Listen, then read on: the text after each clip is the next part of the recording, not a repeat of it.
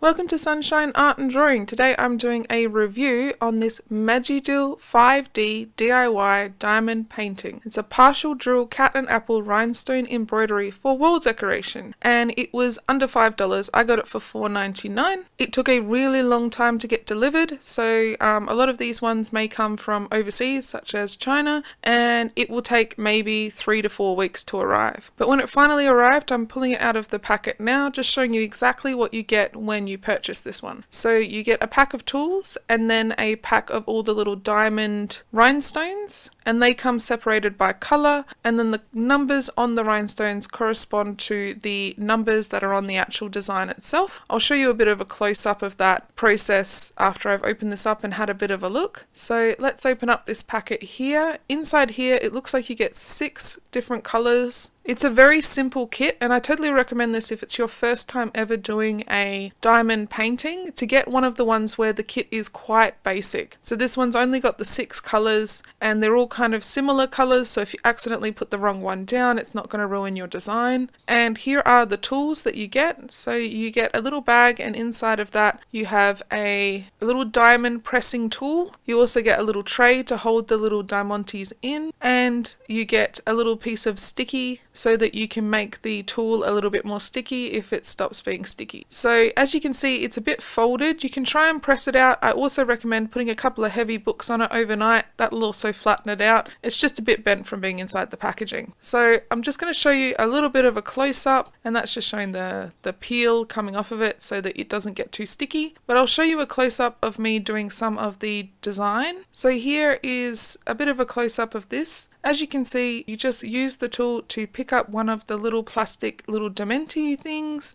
and then you pop it down on the corresponding number on your artwork. So you would just pop it down, say these white ones are number six. So I'm putting all the white ones to correspond with the number six. I didn't film the whole process of this one because it was a quick and easy one. I thought I would do it as more of a review of this particular one. And if the diamanty little things stick together, you can just kind of shake off the extra one and pop it down. I found this set was really, really good. It was really easy. It came with everything that you needed to be able to do the complete diamond painting. The design itself said that it was um, 7.87 inches by 9.84 inches. That's not accurate. The design is just 6 by 8. It's just just a little small design, perfect for a beginner, perfect for your first time ever doing a di diamond painting. Some of them are quite intricate and quite hard. I'm doing another one at the moment that's about four times the size of this and has about 11, 12 different colors, so it's a lot more difficult and I'll show that one in a video when it's complete, but I thought I'd give you a bit of a review of this one in particular. I think the little cat design is really cute. It actually suits this sort of diamond painting really well. Having a simplistic design where it's a bit more of a stylized drawing rather than a painting or a like photo always seems to work better for these diamond designs. If you have something that is quite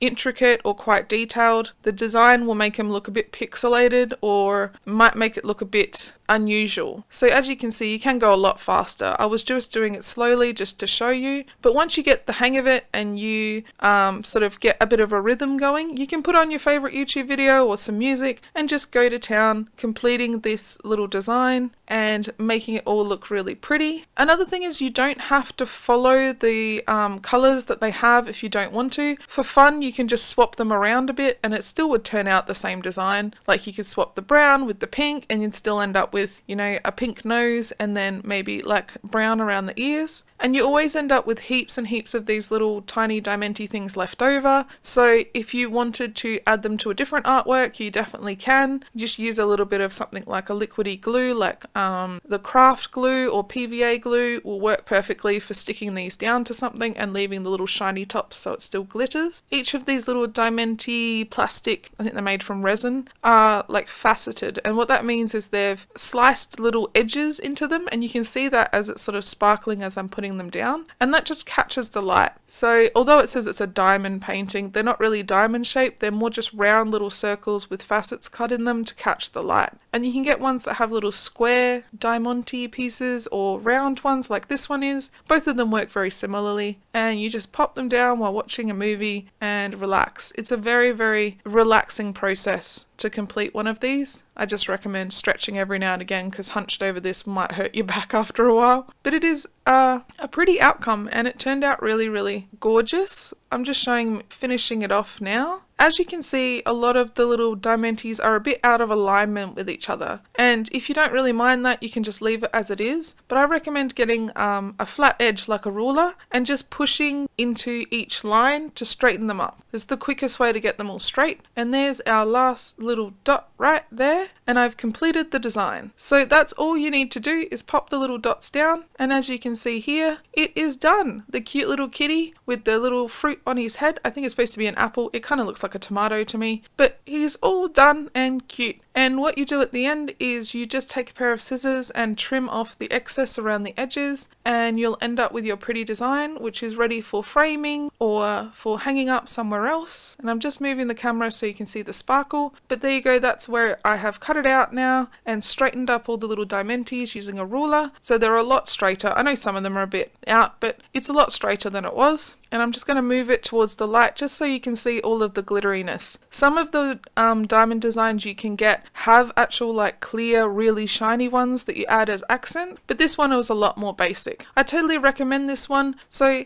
if you're looking for a diamond painting I'll pop the link down below. This is not a sponsored video I just wanted to share this one with you because it's such a good price and it turned out really well. I hope you guys have a sunshiny day. Thanks so much for watching. Bye!